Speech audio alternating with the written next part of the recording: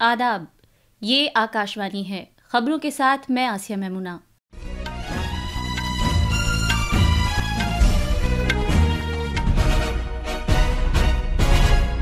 वज़ीर आज़म नरेंद्र मोदी ने जम्मू में बत्तीस हज़ार करोड़ रुपए से ज़्यादा के तरक्याती प्रोजेक्टों का अफ्ताह किया। भारत आईबीएसए के गुर्बत और भूख के खात्मे के फंड में 10 लाख अमरीकी डॉलर की मदद फराहम करेगा।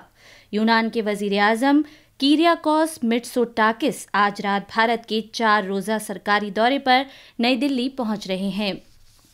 अफ़गानिस्तान के नूर ग्राम में बारिश और बर्फबारी की वजह से मिट्टी के तोदे खिसकने से 25 लोगों की मौत हो गई है।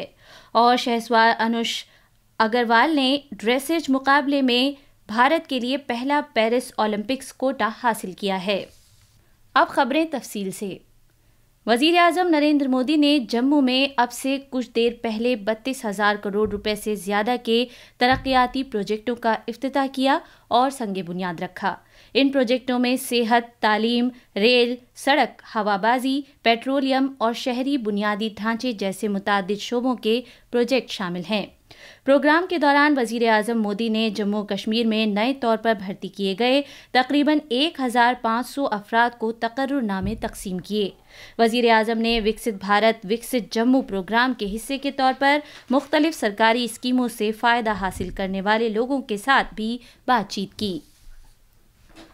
भारत ने गरीबी के खात्मे और भुखमरी पर काबू पाने की गरज से भारत, ब्राज़ील और जनूबी अफ्रीका आईबीएसए के ज़रिए कायम फंड के लिए 10 लाख डॉलर ताउन किया है। इस फंड का मकसद दुनिया से गुर्बत और भुखमरी का खात्मा करना है। अकवा मुतहदा में भारत की मुस्तकिल नुमाइंदा रुचिरा कम्बोज ने जुनूब जुनूब ताउन के लिए अकवा मुतहदा के दफ्तर U N O S S C के डायरेक्टर दीमा अल खतीब को ये चेक दिया। यूनान के वज़ीर आज़म कीरियाकोस मिट्सोटाकिस आज रात भारत के चार रोज़ा सरकारी दौरे पर नई दिल्ली पहुँच रहे हैं। उनके हमरा सीनियर अफसरान और कारोबारी रहनुमाओं के एक आला सतही वफ्द भी भारत आ रहा है। जनाब मिट्सो टाकिस नई दिल्ली में नवी रायसीना मुजात में मेहमान खसूसी होंगे और कलीदी खुतबा देंगे।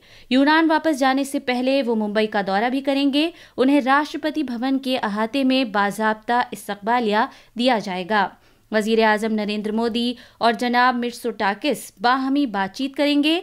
वज़ीर अजम मोदी यूनान के वज़ीर अजम के एजाज़ में एक जहराने का भी अहतमाम करेंगे।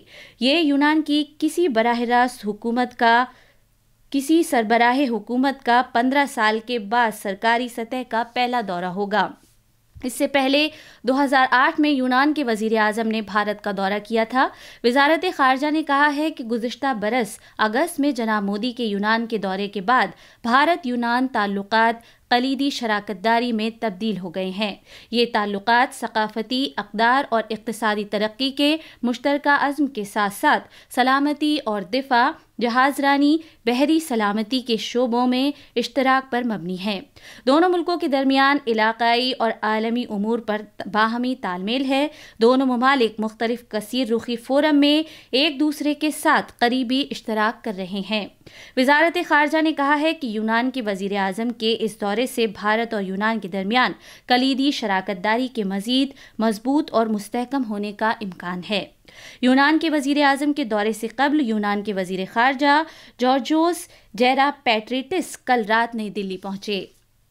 अरुणाचल प्रदेश आज अपना अड़तीसवां योम तासीस मना रहा है। इस सिलसिले में अहम तकरीब राजधानी ईटानगर के आईजी पार्क में मुनद की जाएगी। नायब सदर जमहूरिया जगदीप धनकर तकरीब के मेहमान खसूसी होंगे। हुकाम के ज़रिए रियासत के योम तासीस की तकरीबा के लिए सिक्योरिटी के पुख्ता इंतज़ाम किए गए हैं। सदर जमहूरिया, नायब सदर जमहूरिया और वज़ीर अजम ने अरुणाचल प्रदेश और मिजोरम के अवाम को उनकी रियासत के योम तासीस के मौके पर मुबारकबाद दी है। एक सोशल मीडिया पोस्ट में सदर जमहूरिया द्रौपदी मुर्मू ने कहा कि अपने खूबसूरत मनाजिर और मालामाल सकाफत के साथ दोनों रियासतें बेहद खूबसूरत हैं, जिनको बयान नहीं किया जा सकता। उन्होंने कहा कि इन दोनों रियासतों में पायदार तरक्की को फ़रोग देने के लिए जिम्मेदाराना सियाहत अहम किरदार अदा कर सकती है। सदर जमहूरिया ने दोनों रियासतों के अवाम की खुशी और खुशहाली के लिए नए ख्वाहिशात का इजहार किया। अरुणाचल प्रदेश के अवाम को मुबारकबाद देते हुए वज़ीर आज़म नरेंद्र मोदी ने कहा कि रियासत के अवाम भारत की तरक्की में गिरा कदर ताउन कर रहे हैं। जनाब मोदी ने उम्मीद ज़ाहिर की कि अरुणाचल प्रदेश आने वाले बरसों में भी खुशहाली को कायम रखेगा। ये खबरें आकाशवाणी से नशर की जा रही हैं।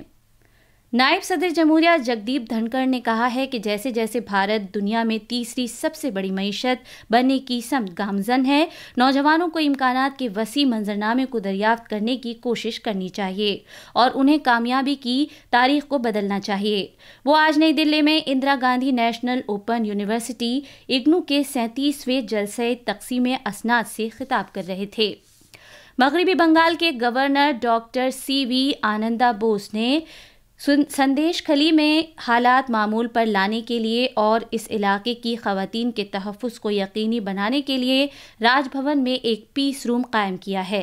उन्होंने कहा कि संदेश खाली की कोई भी खातून अगर अदम तहफ़ की शिकार है तो वो राजभवन से रबता कर सकती है और वहाँ रह भी सकती है। उन्होंने कहा कि इस सिलसिले में मुतल इंतज़ाम कर लिए गए हैं। गवर्नर ने मजीद कहा कि वो संदेश खाली में कानून के नफाज के सिलसिले में रियासती हुकूमत की जानब से किए गए इकदाम का जायजा भी लेंगे। उन्होंने आम लोगों और सियासी पार्टियों से अपील की है कि वो आगे आएँ और संदेश खाली की सूरत हाल के लिए हल तलाश करने में अपना ताउन दें। इतलात नशरियात के वज़ीर अनुराग सिंह ठाकुर ने मगरबी बंगाल में संदेश खाली में ज्यादतियों से मुतालिक रिपोर्टिंग करने वाले एक टीवी सहाफ़ी को कल शाम रियासती पुलिस की जानब से हिरासत में लिए जाने के बाद मीडिया की आज़ादी पर हमले की मजम्मत की है। एक निजी टीवी चैनल से बातचीत करते हुए जनाब ठाकुर ने कहा कि ये बहुत अफसोसनाक है कि सहाफ़ियों को एक ऐसी रियासत में खातन के खिलाफ ज्यादतियों से मुतालिक रिपोर्टिंग करने से रोका जा रहा है, जहाँ वज़ीर अला खुद एक खातून हैं।